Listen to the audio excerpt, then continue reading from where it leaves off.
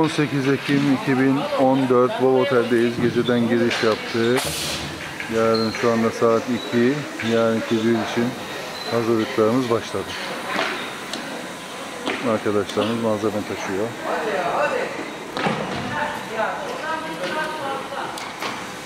Bir taraftan duvarlar kaplanıyor.